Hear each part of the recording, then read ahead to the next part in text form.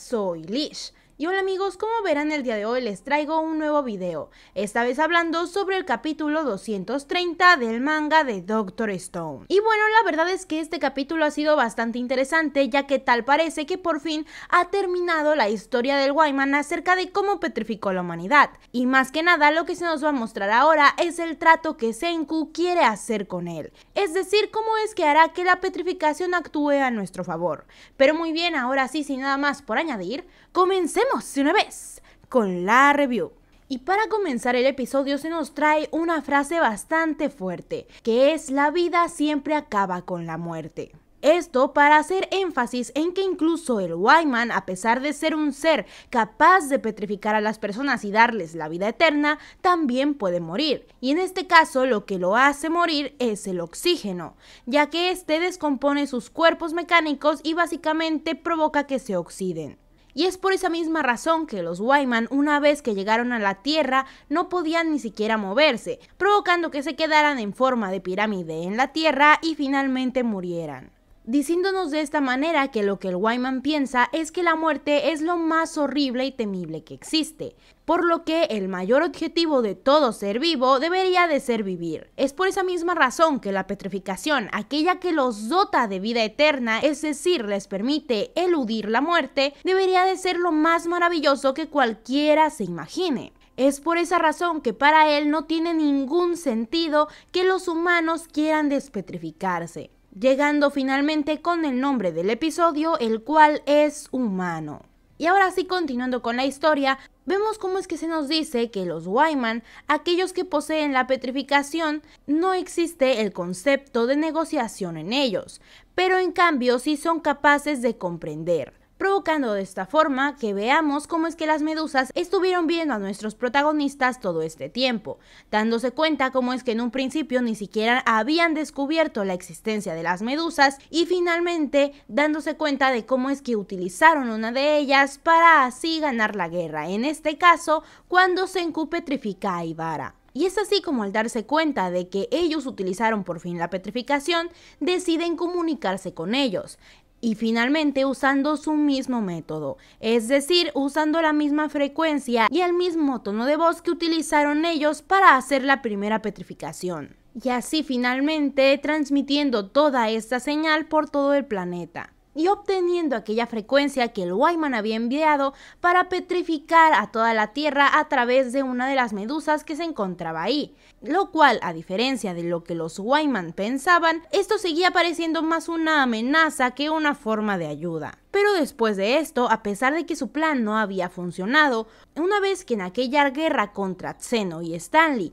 por fin se petrificó a todo el planeta ya que no había otra opción para ganar, es ahí en donde los Wyman volvieron a sentirse aliviados, ya que tal parecía que la humanidad por fin se había dado cuenta de lo valiosos que eran pero claramente es aquí en donde ocurre la despetrificación de Suika y comienzan otra vez a despetrificarse poco a poco, esta vez provocando que el Wyman vuelva a preguntarse qué es lo que ocurre con los humanos, por qué rechazarían la vida eterna, es como si no comprendieran su significado, teniendo así el último mensaje de que tal vez otra de las razones podría ser que simplemente quieren morir. Y ahora sí llegando con uno de los últimos sucesos, el cual se trata de cuando encerraron a la medusa en el vacío, lo cual a diferencia de lo que ellos pensaban, es decir, que ya nadie podía utilizarla, esto permitió que la medusa pudiera moverse libremente de nuevo, ya que como recordaremos, el oxígeno actuaba como un veneno para ellos. Pero a pesar de que él intentó decirle a los humanos que se encontraba ahí, como sabemos esto no funcionó del todo, sino que más bien hizo que los humanos creyeran que hubiera un traidor en su equipo. Exactamente por eso todos comenzamos a teorizar por lo que de manera resumida el Goyman pensaba que enseñándoles la petrificación a seres inteligentes, ellos los tratarían como reyes, claramente al darles la vida eterna. Por lo que al pensar en todo esto, finalmente Senku hace una pregunta muy interesante, la cual es el por qué si ellos querían que usaran su ciencia para finalmente cambiarles las baterías e incluso replicarlos, entonces qué sentido tenía petrificarles en primer lugar, ya que con esto destruyeron su tan preciada civilización científica,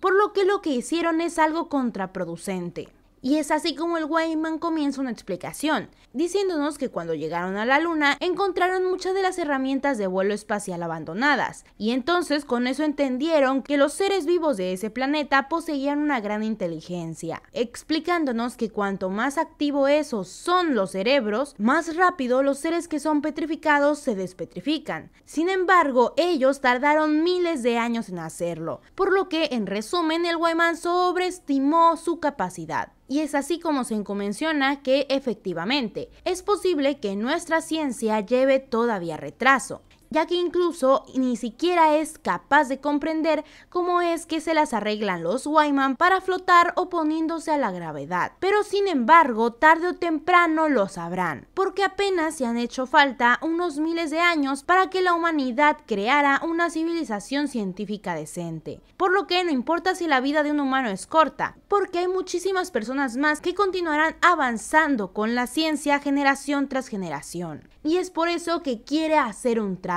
solo entre ellos dos. Obviamente todos se sorprenden al escuchar esto, ya que significa que Senku quiere hacer un trato que solamente escuche el Wyman y él, por lo que al estar conectados con ondas de radio suena bastante difícil hacerlo, y así finalmente mostrándonos cómo es que los Wyman comienzan a rodear a Senku, ya que sí, como lo habíamos visto antes, los Wyman transmiten información a través de ondas de radio, por lo que la superficie de sus cuerpos está diseñada para absorber esas ondas. Es por ese motivo que si se agrupan en forma de cúpula, su interior quedará completamente aislado del exterior. Por lo que en resumen cualquiera que se encuentre fuera de esa cúpula no podrá escuchar nada de lo que se hable adentro. Y es así como vemos finalmente qué es lo que quería decir Senku, ya que menciona que si los Wyman entregan sus cuerpos, existe la posibilidad de conseguir algo increíble es decir, algo que emocionará al universo entero. Y terminando de esta manera el capítulo. Sin duda alguna, algo muy emocionante se nos viene. Pero muy bien, ahora sí vamos a comenzar a teorizar. Primero que nada, algo muy importante es que al final de este episodio se nos menciona que los dos próximos capítulos incluirán una portadilla y páginas a color. Esto sinceramente como siempre suena muy positivo, ya que sin duda alguna me encantan las páginas a color de Doctor Stone. Algo importante de esto, debido a que ya estamos muy cerca del final, es que el que nos estén dando estas páginas podría significar que probablemente los dos próximos episodios también podrían llegar a ser los dos episodios finales. Pero muy bien, ustedes díganme qué piensan acerca de esto, ya que sinceramente también la razón por la que lo menciono es porque directamente ya se nos ha contado toda la historia sobre el Wyman, es decir, se nos reveló todo el secreto de la petrificación y tal parece que lo único que queda por hacer es saber cuál es el trato que quiere hacer Senku para que así la humanidad y los Wyman convivan en paz. Pero muy bien, una vez dicho esto, ahora vamos a analizar más acerca sobre qué es lo que realmente quiere Senku al decirle al Wyman que entreguen sus cuerpos. Algo que pensé es acerca de lo que él menciona antes, es decir, Senku se asombra debido a que el Wyman puede flotar en el espacio, porque técnicamente el espacio en donde él puede habitar es en el vacío. Es por esa misma razón que puede ser que una de las cosas que se le ocurrió a Senku es que el Wyman le ayude a los humanos a directamente explorar explorar el universo o algo por el estilo. Y por último, una de las teorías que tengo acerca de esto es que probablemente se nos muestre un time skip, es decir, que en lugar de mostrarnos directamente lo que Senku quiere, tal vez podría haber un time skip para finalmente mostrarnos todo lo que la humanidad ha avanzado con el Wyman y de esta manera mostrarnos en flashbacks o de manera rápida qué es lo que Senku quería y cómo la humanidad fue avanzando hasta ese punto. Pero muy bien, más que nada, estas son las teorías que se me ocurrieron acerca de qué es lo que podría venir en Stone y déjenme ustedes en los comentarios qué piensan acerca de esto y qué otras teorías se les ocurren. Además de si ustedes creen que directamente estos dos próximos capítulos también podrían ser los capítulos finales. Pero muy bien, recuerden que si les gustó el video dejen su like y suscríbanse si no lo están, además de compartir el video con sus amigos para que ellos también puedan disfrutar de él. Y ahora sí, antes de despedirme, muchas gracias a todos los miembros del canal por darnos tanto apoyo. Y muchas gracias a Edifonso Loredo, Detco, Emanuel Castro, Armo ZZ, Luis Macosta, Rodrigo García, Alesta Dalmora, Roberto Pedrero, Random Games, Fanny Morales, Paulex29, Alex Gamer, Adrián Risco Vilches, J. Daniel Alvarado Castillo, Soules y Bárbara Ninao. Y ahora sí, sin nada más por añadir, bye bye.